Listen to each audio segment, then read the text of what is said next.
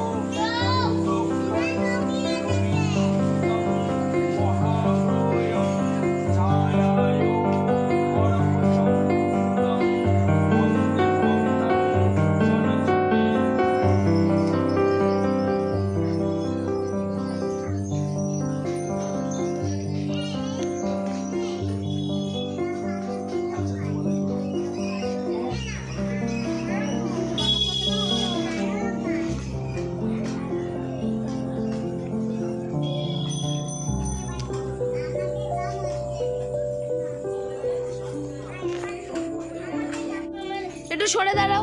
ঝর্ণাবতী একটু সরে দাঁড়াও।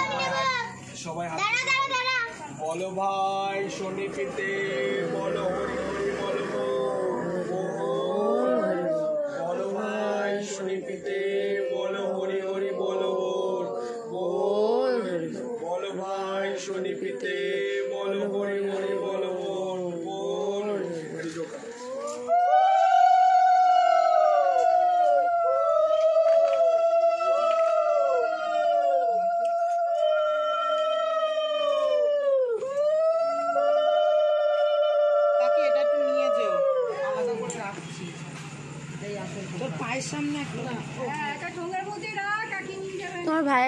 একটু সাইডে।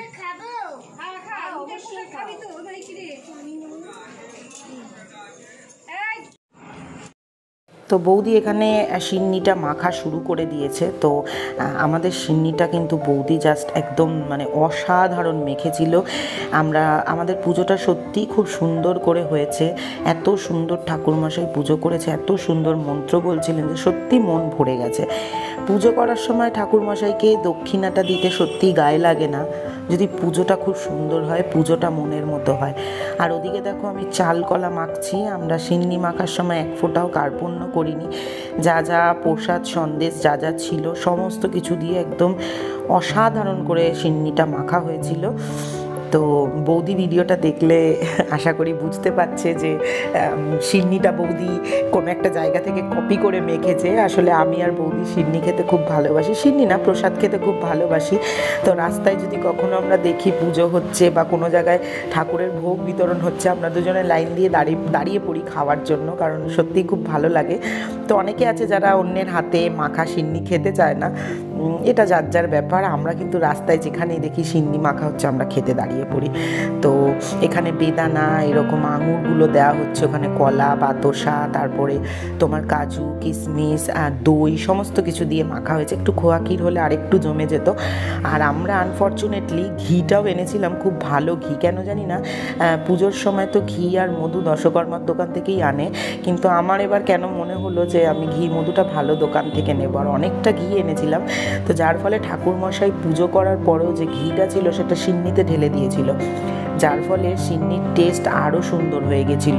তো দেখতে পাচ্ছ যে কতটা কাজু দেওয়া হয়েছে। আমরা অনেকটা কাজু নিয়ে এসেছিলাম। ইচ্ছে ছিল কিছুটা কাজু একটু গুঁড়ো করে দেব, কিন্তু অনেকটা রাত হয়ে গেছিল পুজো হতে, সেই কারণে আর ওটা করা হয়নি। এরপরেও অনেক কাজ আছে, কারণ বাড়ির পুজো হয়ে যাওয়ার পর এখানে সমস্ত কিছু পরিষ্কার করতে হবে। একদম একটাও ফুল থাকবে না, এই জায়গা ধোয়াতে হবে। আমরা তো আর এগুলো নিয়ে উপরে উঠতে পারব না। সব এখান থেকে ধুয়ে পরিষ্কার করেই আমাদের উপরে উঠতে হবে। তো সেই কারণে একটু তাড়াহুড়োও করছিলাম। বেশি রাত্রি হয়ে গেলে প্রসাদটা তো বিতরণ করতে হবে। আমরা নিজেরা আর কত খাব? তো যখনই আশেপাশে লোক শোনে বা দেখে যে বাড়ির পুজো হচ্ছে, তারা নিজেরাই প্রসাদ নিতে আসে। অনেকেই সন্ধেবেলা থেকে আসছে, দেখছে। তারা জানে এখানে সিন্নি মাখা হবে, প্রসাদ দেয়া হবে। তো লোকজন আশেপাশে একটু ঘোরাঘুরি করছিল। প্রসাদ খাওয়ার জন্য দু একজন এসে প্রসাদ চাইছিল। তো সেই কারণে একটু তাড়াহুড়ো করে সমস্তটা করা হচ্ছিল।